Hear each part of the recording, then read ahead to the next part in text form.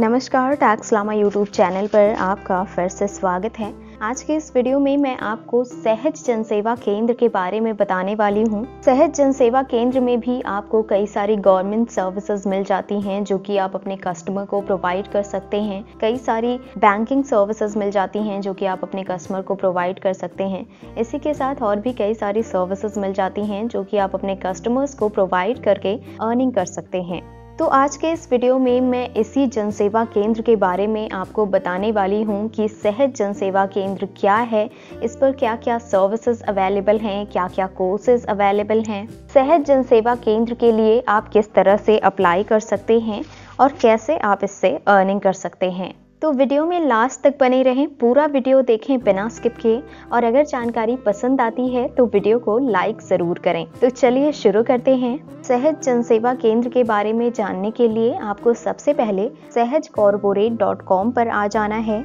यहाँ पर आने के बाद आपको कुछ इस तरह का इंटरफेस दिखेगा। यहाँ पर आप देखेंगे कि जिस तरह से आपको सीएससी में कई सारी सर्विसेज़ देखने को मिलती थी, जो कि आप लोगों को प्रोवाइड कर सकते थे। उसी तरह से यहाँ पर भी आपको कई सारी सर्विसेज़ देखने को मिलेंगी, जो कि आप कस्टमर्स को प्रोवाइड कर सकते हैं और उससे अर्निंग कर सकते हैं।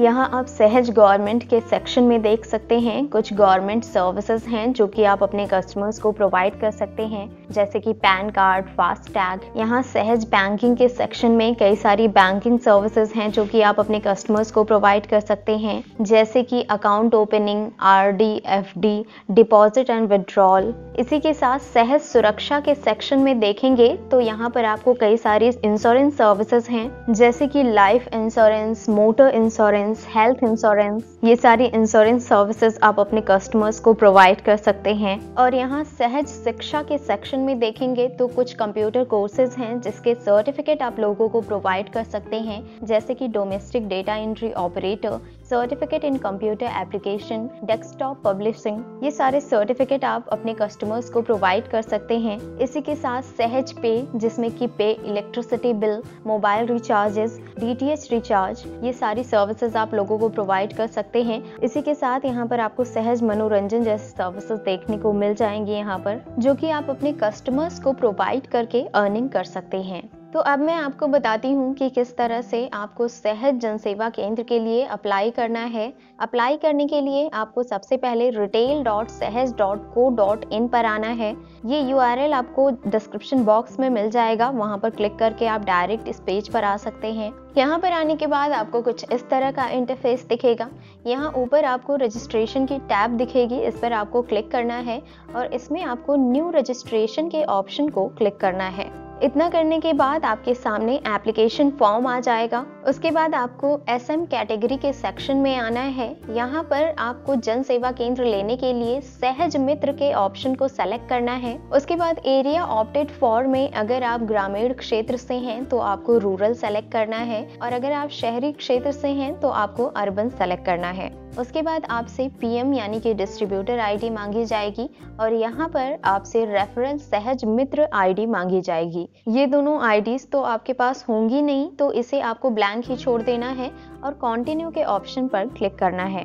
उसके बाद यहाँ पर आपको अपना मोबाइल नंबर फिलअप करना है और यहाँ पर वेरीफाई मोबाइल के ऑप्शन पर क्लिक कर देना है। इतना करने के बाद आपने जो भी मोबाइल नंबर यहाँ पे इंटर किया होगा, उस पर एक ओ सेंड किया जाएगा, जिसे आपको यहाँ पर फिलअप करना है और कंटिन्यू के ऑप्शन पर क्लिक करना है। फिर यहाँ पर आप देख सकते हैं, मोबाइल नंबर वेरीफाई हो चुका है। उसके बाद आपको व्हाट्सएप नंबर के सेक्शन में आना है। तो अगर आपका व्हाट्सएप नंबर और मोबाइल नंबर दोनों सेम ही है तो यहाँ पर same as a primary mobile number इस पर यहाँ पर टिक कर देना है। और अगर आपका व्हाट्सएप नंबर डिफरेंट है तो आपको यहाँ पर फिलअप कर देना है। उसके बाद आपको यहाँ ईमेल आईडी के सेक्शन में अपनी ईमेल आईडी फिलअप कर देनी है और फिर चेक अवेलेबिलिटी के ऑप्शन पर क्लिक कर देना है। और यहाँ पर अगर आप चाहें तो कोई अल्टरनेट मोबाइल नंबर भी फिलअप कर सकते हैं। व्हाट्सएप नंबर और अल्टरनेट मोबाइल नंबर दोनों ही ऑप्शनल है।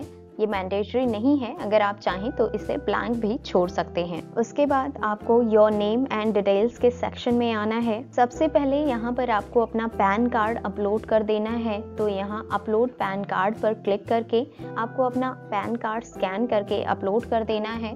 अपलोड करते ही आपका जो पैन कार्ड का डेटा है, वो यहाँ पर ऑटोमेटिकली फैच हो जाएगा। उसके बाद यहाँ पर आपको सैल्यूटेशन के सेक्शन में अपने हिसाब से सैल्यूटेशन सेलेक्ट कर लेना है मिस्टर मिसेस या मिस मोस्टली इन्फॉर्मेशन आप यहाँ पर देखेंगे, पैन कार्ड से यहाँ पर फैच हो गई है ऑटोमेटिकली फिलअप हो गई है। यहाँ पर आपको अपना जेंडर चूज़ कर लेना है और यहाँ पर आपको अपना मैरिटल स्टेटस चूज़ कर लेना है। और इतना करने के बाद आपको सेव एंड कंटिन्यू के ऑप्शन पर क्लिक कर देना है।